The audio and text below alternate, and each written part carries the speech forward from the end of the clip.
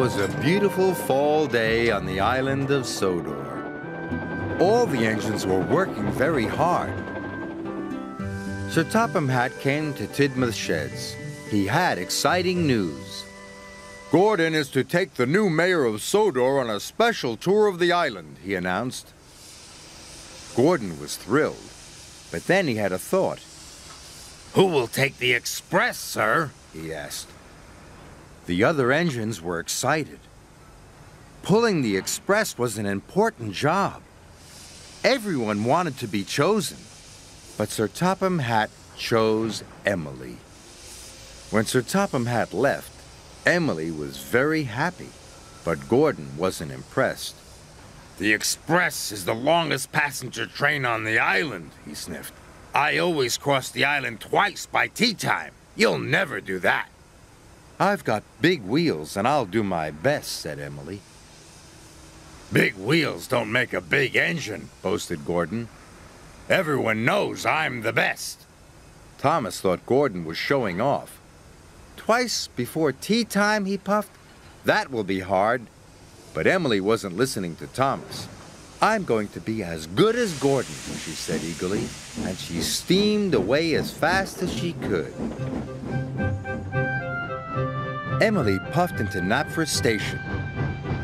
She was looking forward to taking the express, but it was very, very heavy. Bust my buffers, she gasped as she slowly pulled out of the station. But she pulled away too soon and left the brake coach behind. Emily puffed with all her might. She was determined to be fast.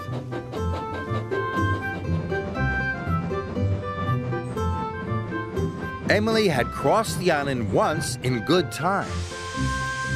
I am as good as Gordon, she puffed proudly.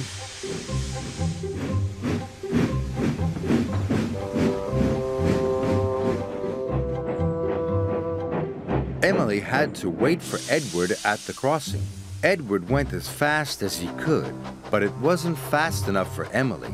Hurry up, slow coach, she cried, or you will make me late.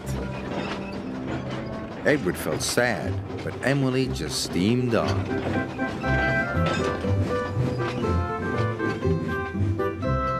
Emily stopped in Maithwaite Station. The express was a guaranteed connection with Bertie the bus. But Bertie hadn't arrived. He had a flat tire and was running late. Emily tried to wait.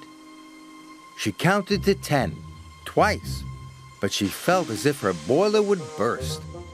I'm going to be the slowest engine on Sodor, she cried, and it's not my fault. And she puffed away. When Bertie arrived, Emily had already left. Emily needed to take on water, but James was at the water tower. He was pulling the slow goods train. Emily wanted to go first. It doesn't matter if you are late, she said. You must wait your turn, said James crossly. Express trains don't wait, said Emily, and she left without taking on water.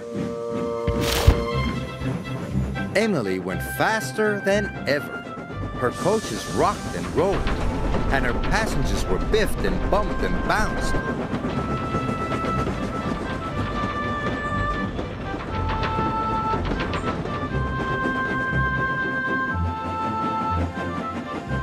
Finally, Emily could see Brendam Docks up ahead. Twice before tea time, she puffed happily. I am as good as Gordon. Then there was trouble. Emily slowed down. What's happening to me? she cried. She went slower and slower. Emily had run out of water.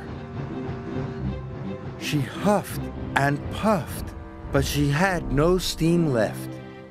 Finally, Emily came to a complete stop.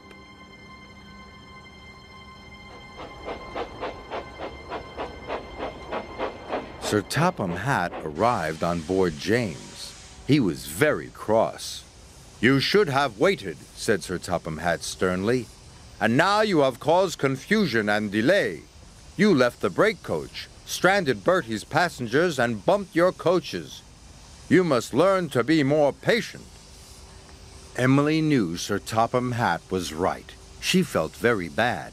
She was only trying to be as good as Gordon. I'm sorry, sir, she said sadly. James pulled Emily into the docks. Then he went back to collect the express. Now I need an engine to take the slow goods train, said Sir Topham Hatt. Emily had an idea. May I take it, sir? she said. If I promise to go slowly? Sir Topham Hatt thought it was a grand idea. The slow goods train needs lots of patience, he said. Emily was pleased. She was determined to do a good job.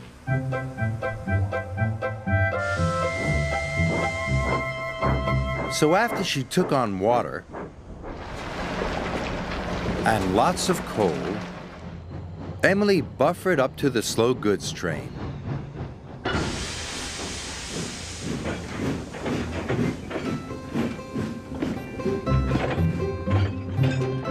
She stopped at all the right stations.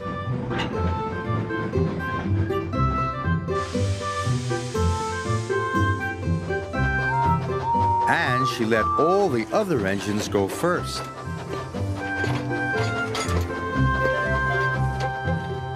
She stopped at a signal. Thomas was waiting there. Hey, Thomas. I am learning patience, Emily puffed. But if only I could learn it faster. Thomas had to laugh. Blood that we're bleeding could fill up a broken heart.